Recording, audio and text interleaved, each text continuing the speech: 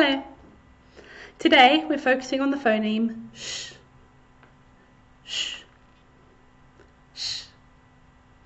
And we write that with this grapheme here. It's a digraph, two letters making one sound. S and H together making sh. Let's try reading some words with sh in them. We'll do the first one together. Say the sounds with me. Sh, ip, ip, ship, ship, ship, ship. Do you see a picture of a ship? Yes, there we go. Well done. Pause the video, have a go at doing the other two words, and then come back and we'll do them together.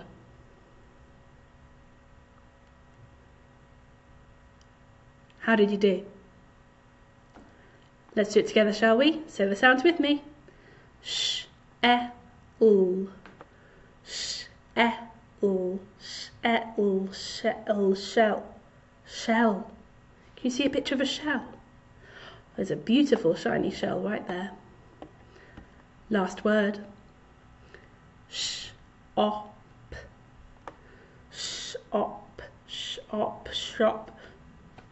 Shop. Did you get it? There's a shop right there. Well done. Let's do our tricky words. I'll say a word, you point to the one I'm saying. Here we go. Your first word is when. When. When. Well done, there it is. Okay. Next word.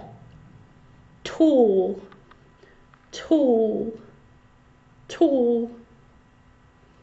There it is, good job. And your final word, what? What? What? There it is, good job. I'm going to say a word to match this picture, then I'd like you to pause the video and have a go at writing it. The word is shin. This front part here is called your shin. Sh, I, Mm, three phonemes, three graphemes. Shin. Give it a go now.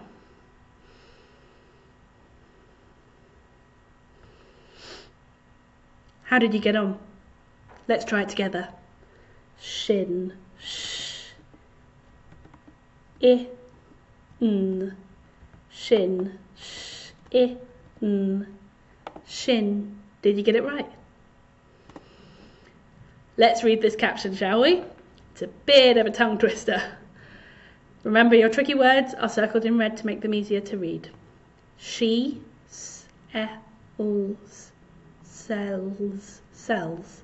She sells, shells, shells. She sells shells. Goodness me, that is a bit of a tongue twister.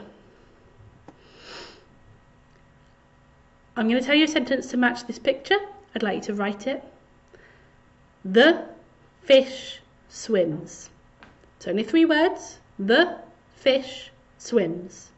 Start your sentence with a capital letter, use finger spaces between each word, and end your sentence with a full stop. The fish swims. Get an adult to check it when you're done. Give it a go, and I'll see you in the next video. Bye.